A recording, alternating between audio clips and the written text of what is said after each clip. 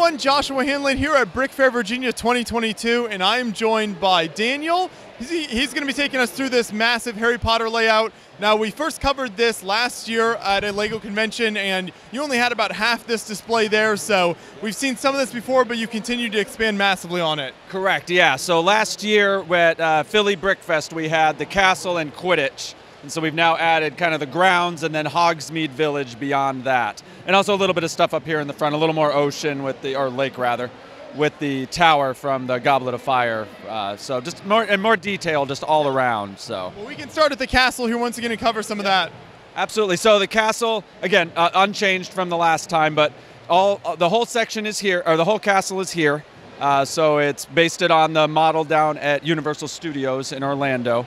Uh, so all the towers, the greenhouses, though I will give your viewers, uh, you know, props. They did point out, I claimed in the last video that we had the right number of greenhouses, and someone pointed out that there are supposed to be nine, and I went back and checked, and they were correct. So we didn't add a ninth one, didn't quite have space. The commenters don't miss that stuff. commenters do, uh, clearly, clearly.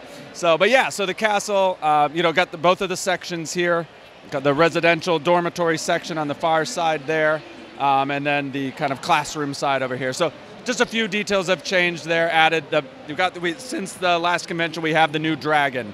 Uh, so put that up on there, and then uh, as I said, the tower here in the front from the Goblet of Fire when they dive down into the lake. So my daughter keeps pushing me. We need to do an underwater section now. You know, kind of have a cutout from the table, but then we'd have to do custom tables. So.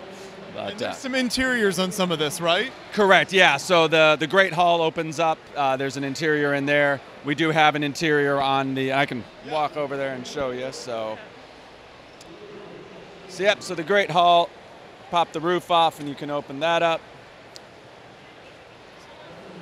So the the fun little secret here is that we ended up so i made a rule that every time i went into the lego store for the last two years i had to buy one of the little harry potter minifig packs and every single one of them came with Harry. So any minifigure that isn't facing you, it's Harry's face. See, like this guy right here, it's totally Harry. So anyone, you know, that, that guy right there on the bridge, that's Harry, and every, anyone that's not facing you is Harry because we had to just use up all those faces. So and then the uh, the inside of the tower, that opens up. So it's uh, the batteries died on that, but the staircase does rotate. So it. Uh, so we got the, the moving staircase, so to speak, and then the dormitory here opens up as well. So we got the Gryffindor common room and dormitory in there.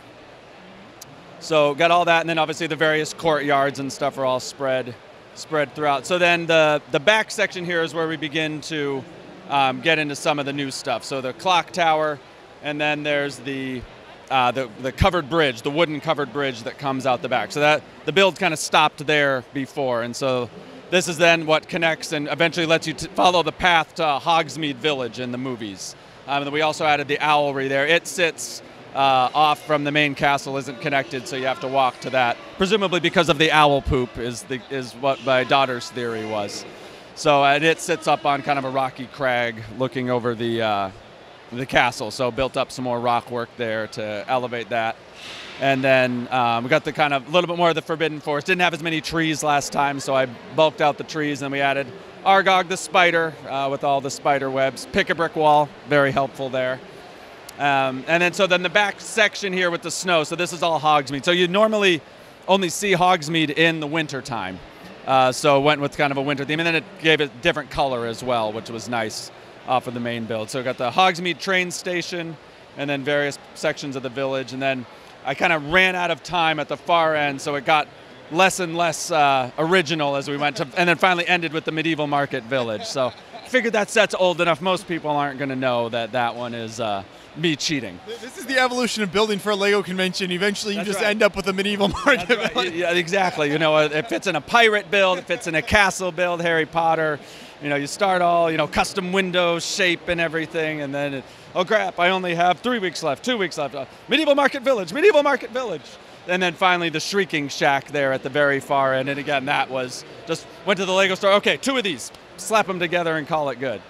So, um, so but yeah, so this was a really fun addition, kind of to expand the grounds a little bit and get to do different shapes and things. So the the center section there kind of laid it out as a triangle. So that's all one big piece. So that was a bit tricky to figure out. Probably shouldn't have spent so much time on that, but I've had time to finish two more buildings at the end.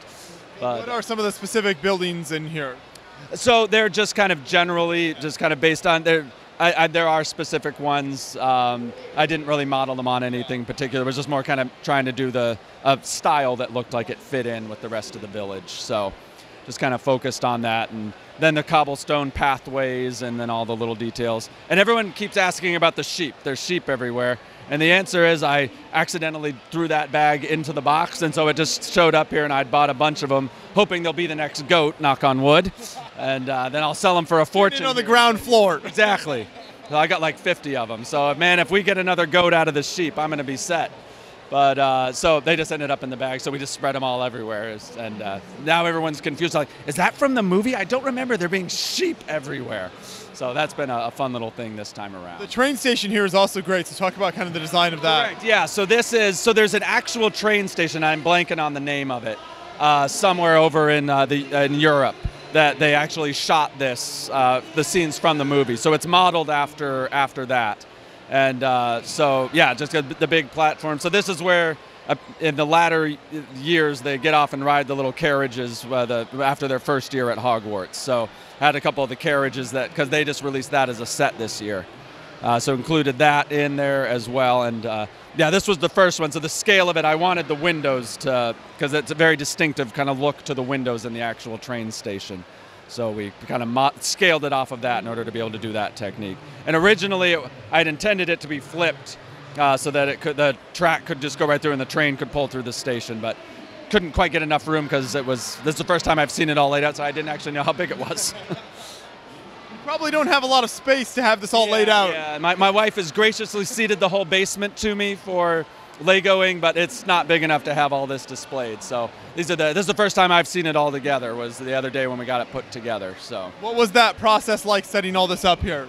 yeah, it takes a long time. So uh, so everything breaks down really small. So like the walls are all separate. Each castle building, each tower, it all comes apart. So it's it's a real mess when we first get here because I've kind of Tetrised it into all the different boxes. So the first step is we kind of spread all the pieces out around, and I have to, all right, that goes here and that goes here, and build it up from the base plate. So you can't see it, but the base plates, I, I used a label maker, and so they've they've all got a, a number and grid, and so there's it's there's labels that show you know join base plate one to base plate two right here, and you so it's kind of a guide to put them all together and figure it all out. So, and then Quidditch is the same as last year, but still, I just love the the color pop. We can walk around and take a closer look at that. Yeah, so this this whole side looks fantastic as well. Yeah, so you know, got them all suspended there. So this is the uh, the Quidditch layout with the the elevated tower. So the other thing that I changed from last time is I've added backs to them. Uh, so just filled in, and so the color is all the way around. And uh, yeah, just using the um, the clear bars to suspend them, give them some action poses and and all of that. So that's a, I just love that part. It's a nice break from the tan. Right. There's a lot of tan in this build. So much tan in this build. Everyone keeps asking me, well, what's your next build gonna be? I'm like, I have no idea, but whatever it is, it'll be in tan. Definitely be in tan. And then the other part that's new is kind of this lower ground section here. Um, so there are some parts of Hogwarts that are kind of out away from the castle where they have the flying lesson and things of that nature. Uh, so we added that section as well, just to kind of fill it in a little bit, not just have a bunch of green base plates uh, sitting there to give a little bit more space and things of that nature. So then on the back side here, uh, you got all the greenhouses again. They've each got their in, little interior uh, with the various you know, pots and things growing in there. And then there's the interior courtyard as well. There you go. That's the view that most people never get. So if people were wondering, you know, what, what's in the courtyard? So and uh, so just got all that laid out. And then we used the um, the little golden minifigures, the little anniversary ones for statues. Uh, that was a nice nice way to use those up.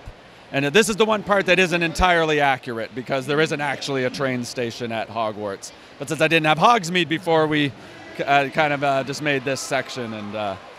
So I guess technically we could revamp it now, but I'm probably not going to do that. So. so. this is obviously a massive layout continuing to grow. Do you have any idea how many pieces are in this whole thing? My best guess is around. Um, so I, I think the original build was around 200,000, just because of the rock work and all the little cobbles. So it's probably another eh, 50,000 in the back with what we've added, give or take. So again, that could be wildly off by orders of magnitude, but that's my best guess. And, and you got a ton of minifigures as well. Do you keep track of how many of those are in the build? There's about 350 of the minifigures. Yep. Yeah, spread spread all over the place, and probably you know 80 of them are Harry. So what are plans for the plans for the future on on this whole layout? Continuing to expand? Yeah. So what we're going to do now, this is this is most of the stuff that's in and around Hogwarts. So probably call it good on this. Uh, but we've been working on uh, a Diagon Alley layout, uh, an expanded burrow, much bigger than the uh, the sets from Lego, and uh, just kind of some of the other locations. So what we'll probably do is kind of expand it from being just Hogwarts to kind of you know Wizarding World or, or something like that. Uh, so expand out from the, the core of Hogwarts and do that, and just kind of leave this leave this as, as I've still again every time you lay it out, you see oh I'd like to add a few little things here or there, flesh out the pathways a little bit more, and maybe add just a little bit more of the greenery to help spread it out a little bit. But for the most part, I think now this this section is probably done. Though maybe I'll swap out the medieval market village. You guys, you guys can check up on me in a year and see if I've uh, if I've gotten rid of those. And, and, you've got a great spot by the door here at BrickFair, so a lot of people yeah. coming by. What has the public reaction been like as they kind of walk around the build and start to see the layout? Oh, yeah. That's been a lot of fun. It's been fantastic. So, uh, yeah, they've got us right by the door. I couldn't believe when I looked at the map. I was like, this is the prime spot. This is awesome. Uh, but one of the one of the really fun things that I hadn't thought about when I was working on this was the degree to which you know Harry Potter is now so generational. So you have you know, parents that walk in and they're flipping out because they loved it as a kid and they've gotten their kids into it. So their kids are flipping out. So it's just going to be kind of fun to listen and watch the reactions of these, you know, parents and their kids both getting into it together. And, you know, they're trying to spot all the little details. You can always tell people who are real fans of the franchise because they're seeing all the little, oh, that's from this or that's from that. And, then uh, yeah, my, my daughter isn't with me this time, which is stunk because she's the, the Harry Potter expert. So like, who's that minifigure? I have no idea. have the encyclopedia here. I needed I needed my little encyclopedia with me, but uh, d- didn't have it. So, but she'll be with me at the next one, so I'll be I'll be covered then. Perfect. And for people who maybe want to see this in person, where else do you have plans to take this to? Yep. So uh, it's going to be at uh, Philly Brick Fest. Uh, I believe that's in October. Uh, and I'm going to try to get it to Brick World Chicago next year. So, and uh, then if we if we succeed in pulling that up, then that'll probably be it, and we'll disassemble it after that. Though that will be very hard to do. Mostly because I have no idea where I'm going to store all the bricks once I disassemble them. Because I started out with a, I literally had a little shoebox, one of those plastic shoebox containers of tan, and that was all I had. So this is uh, I have no idea how many containers full of tan it will be, but it will be a lot. there you go. Well, excellent work. Thank you so much for continuing to expand on this and taking us through the layout. Thank you very much. Great to talk with you guys as always.